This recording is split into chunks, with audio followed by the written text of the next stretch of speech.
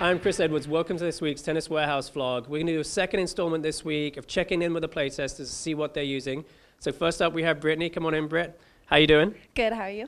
Doing well, thanks. I see you have a Babolat racket in your hands here. When you tell us uh, which one it is and also what string uh, you're going with in there? Sure. Well, I'm currently searching for a new racket, but I can always fall back on the Babolat Pure Drive. I've used it for several years, and one of the things I really like about it is that I get a lot of power from it on my ground strokes and especially on my serves. I like also like how maneuverable it is and also stability. I don't feel like it's being pushed around. Um, for strings, I have Volkl Cyclone in it right now at 56 um, in the pink color. I love fun colors, but I really think it's a it controls the power of the Pure Drive, and I'm really able to swing out on the ball. Nice, thanks a lot. Okay, next up we have Troy Lara. Come on in, Troy.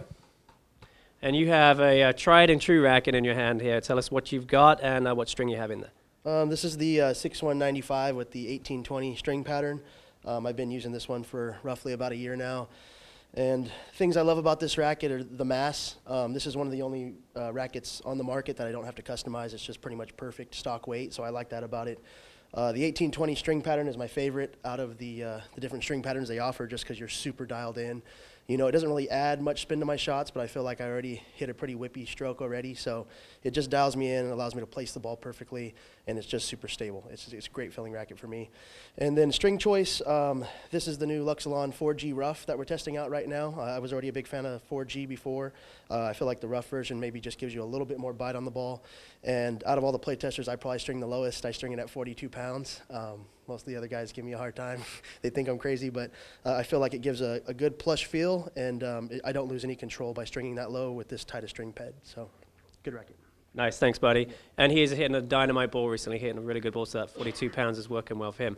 And uh, last taste tester we're going to check in with, Sean, the Hammer Hammer. Coming in, Sean.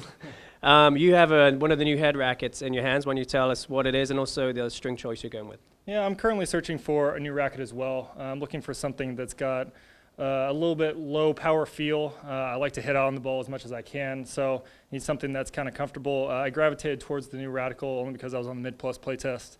Uh, didn't have quite enough uh, plow through for me, so I'm trying out the Radical Pro right now, uh, which is a really nice hit so far. a little bit of a bump up in head size for me. Um, the string that's in here currently is about 52 pounds with the the new head Hawk uh, string that's in there. Um, it's got a, a, nice feel to it. I'd like to bring the tension down a little bit just so it gives me a little bit extra power, but I'm liking the open string pattern on this racket. I'm looking for something to switch to. So far, really nice. Cool. Thanks a lot, buddy. And then a quick look at what I've uh, been using. And um, really, really fell in love with the 6-1 lineup from Wilson. And I've gone with the 95S. It's a little bit lighter, allowed me to play with the weight and balance a little bit to my personal taste. So I've added some uh, weight to the handle with a leather grip. I've also got some lead tape down there at the handle, and then just a, a little lead tape. You can see it right up there, um, hidden under the, uh, the 12 o'clock position. Um, really like this racket. It's a fun one to use. I've uh, been doing a lot of string play testing, so I haven't found my favorite string setup yet, um, and I have a, a, multi in it right now. Um, great racket, super fast, ton of spin, great control, and, uh, and I like that lighter weight because it allowed me to add the weight and get it dialed in right for me. That's all we got for this week. Thank you so much for watching.